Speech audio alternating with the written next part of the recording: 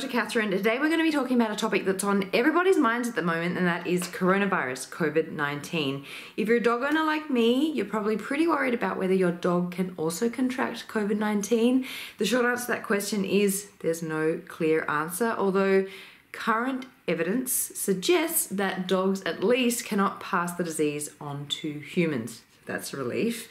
And in today's video, we're going to be talking about all of the facts that we know to date and also how to interpret those facts. You may have heard recently about a dog in Hong Kong, a little old Pomeranian, who was shown to be infected with COVID 19, and you're probably wondering whether that means that dogs can get COVID 19. So, let me talk a little bit more about that information because the media coverage hasn't always been that clear on it. This dog was tested and was shown to have a weak positive result to that test. They retest the dog two days later, so on February 28th, and then again on sorry on March 2nd and 5th, so four tests.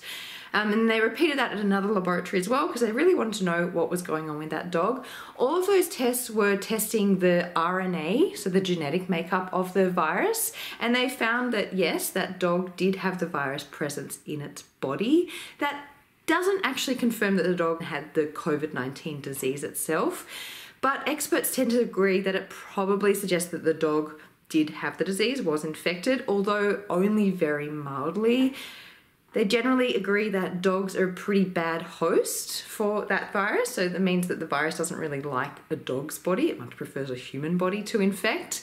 So that's really great news. And experts also uh, are agreeing, at least on the current information, that dogs cannot pass the disease onto humans. So that little Pomeranian in Hong Kong likely got the disease from a human, and in fact, its owners were um, infected with the COVID 19 disease. More great news there is a big laboratory in the US called IDEXX, um, and that's been testing thousands of dog samples to see whether any other dogs um, in out there are infected with COVID 19, and so far haven't shown any positive results.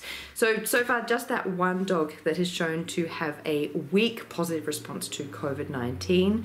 What does all this mean if you are a dog owner like me, if you have yourself been infected with COVID 19, wherever possible, try and get somebody else to care for your dog. If that's not possible, then do everything you can to not pass it to your dog because that is a possibility. So, what I'm talking about is washing your hands all the time washing, disinfecting surfaces, being really careful when you're re, um, sorry, when you're refreshing their water and also when you're giving them their food to, to make sure that you're not passing any virus from your body into the um, food or the water bowl. And you need to make sure that you're being careful for at least two weeks, although evidence suggests that you might actually be shedding the virus for a good even four weeks.